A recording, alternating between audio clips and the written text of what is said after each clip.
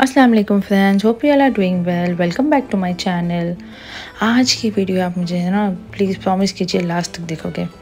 Because आज रात में चार बजे मैंने ये व्लॉग बनाई हूँ। क्यों? क्योंकि हम लोग कहीं जा रहे हैं। कहीं बच्चों को लेकर रात में चार बजे that means it's something special और स्पेशली हमने किसी के लिए ये कुछ लिए हुए हैं बलून्स तो यस हम लोग कहीं जा रहे हैं बट ऐसी कोई बर्थडे पार्टी नहीं है कोई पार्टी नहीं है कुछ नहीं है कुछ ऐसा इवेंट नहीं है।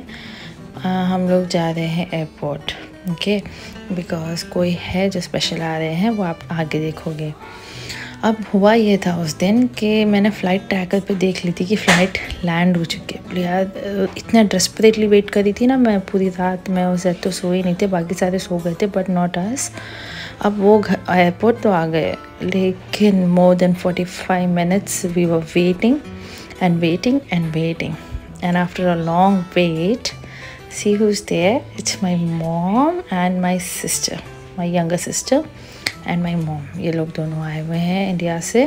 अल्हम्दुलिल्लाह बिकॉज़ विंटर्स भी है और काफ़ी टाइम बाद आए हुए हैं। मतलब सिस्टर आई है, दो साल बाद और मम्मी आए तो शायद चार साल हो गए।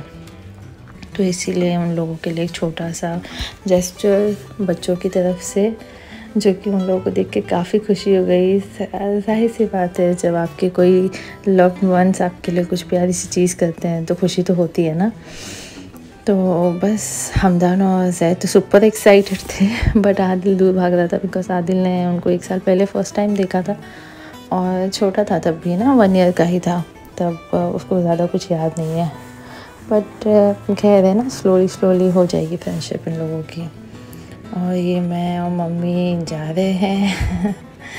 काफ़ी टाइम के बाद बहुत बहुत अच्छा सबसे ज़्यादा एक्साइटेड तो मैं भी तो हूँ। ये तो मैं क्यों बोलना भूल गई। ज़ाहिर सी बात है, मम्मी आई है सिस्टर आई है तो इंसान एक्साइट होगा ना। मैं तो पूरी मेल टीम के साथ में रहती हूँ तो मेरे साथ में मेरी कंपनी के लिए दो फीमेल्स आ गई। तो that's a very big excitement for me और हम इन लोगों के साथ में कहीं जाएँगे, आएँगे। तो in I try to make more vlogs कि मैं दिखाऊँ आपको कि हम लोग कहाँ जा रहे हैं, आ रहे हैं। और ये देखो बलून्स का हाल क्या हो गया घर पहुँचते अब next day it was Sunday और ये लोग आए हुए थे दूर से ना तो फिर और शायद ट्रैवलिंग की भी थकान वगैरह तो हम लोग सोचे कहीं और ज़्यादा ले जाने से बेहतर है।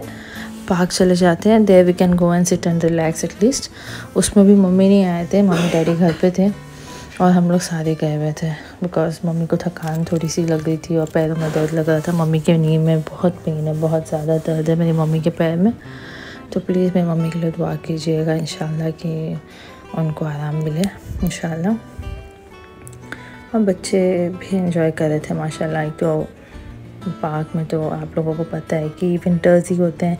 यूएई में स्पेशली ये सीज़न होता है जी, जो कि नवंबर से लेके फेब या मैक्सिमम मैक्सिमम मार्च तक आप जा सकते हो पार्क।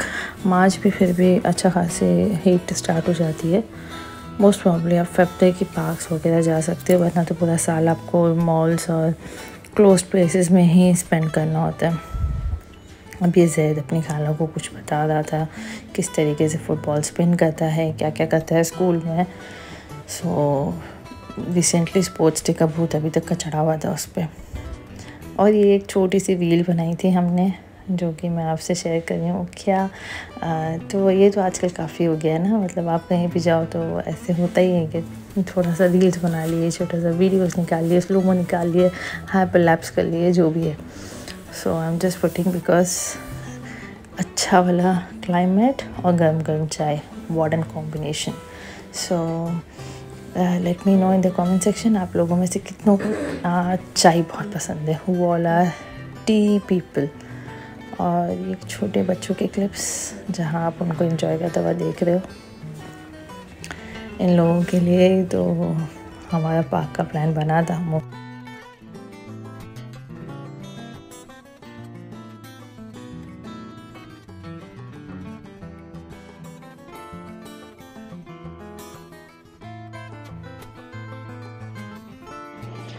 आप लोगों में से जो भी मेरा व्लॉग देख रहे हैं please don't forget to subscribe subscribe से आप, आपके अकाउंट से पैसे नहीं कटने please subscribe to my channel just right now